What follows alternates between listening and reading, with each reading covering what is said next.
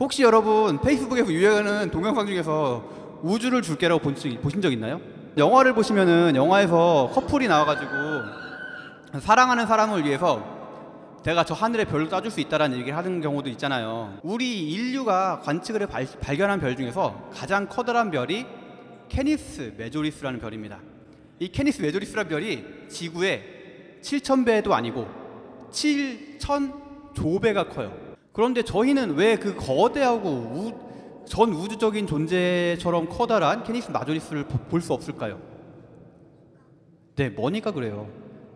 제 여기까지 준비된 멘트고요. 준비하지 않은 멘트를 할 건데요. 거기서는 이제 그래서 그 내용이 뭐냐면은 이 눈앞을 가리고 있는 당구공 당구공에 집중을 하지 말고 커다란 우주에 있는 그 광활한 멋 훌륭한 멋진 거에 집중을 하라는 얘기를 하는데 제가 작년에 수술을 했거든요. 작년 연말에 되게 아픈 수술을 했습니다.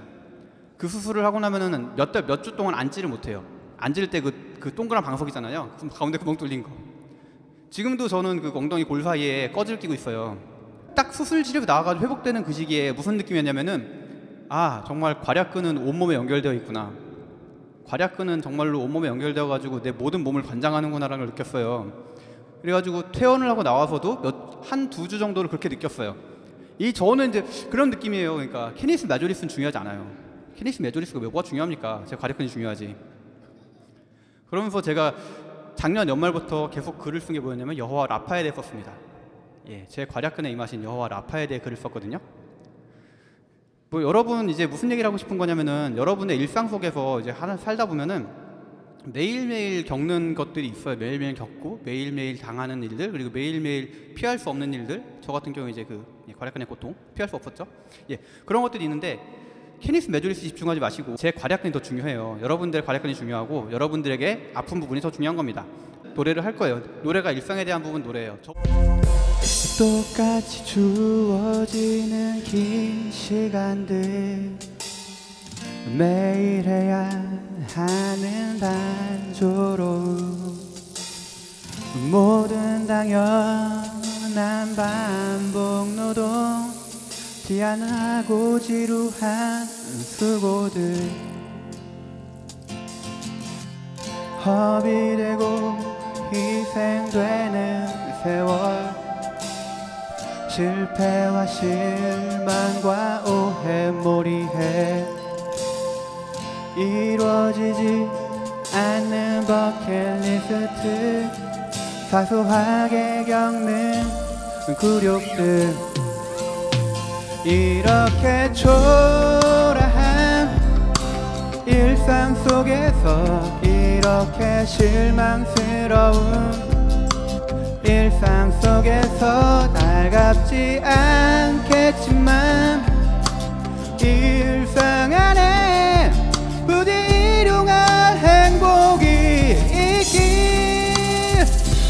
이렇게 초라한 일상 속에서 이렇게 실망스러운 일상 속에서 달갑지 않겠지만 일상 안에 부디 일용할 행복이 있길 몸에 차곡 차곡 쌓이는 고통 가까운 사람들과의 마찰 온갖 작다 하고 귀찮은 일들 그렇게 버려지는 일상들 예, 여러분, 여러분 발밑에 있는 당구공을 주시해 주세요. 여러분의 발, 발밑에 당구공이 정말 중요한 겁니다. 캐니스 메조리스는 버리세요. 네. 이렇게 초라한 일상 속에서 이렇게 실망스러운 일상 속에서 달갑지 않겠지만 일상 안에 부디 일용할 행복이 있길 이렇게 초 속에서 이렇게 실망스러운 일상 속에서 달갑지 않겠지만 일상 안에 부디 일용할 행복이 있길 몸에 차고 차고 쌓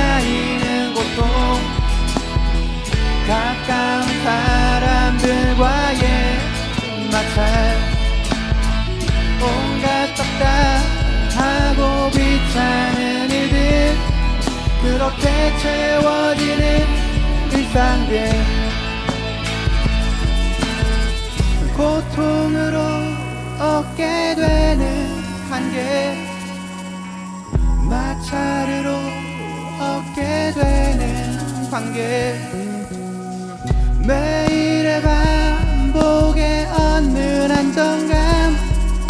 그렇게 반짝이는 일상들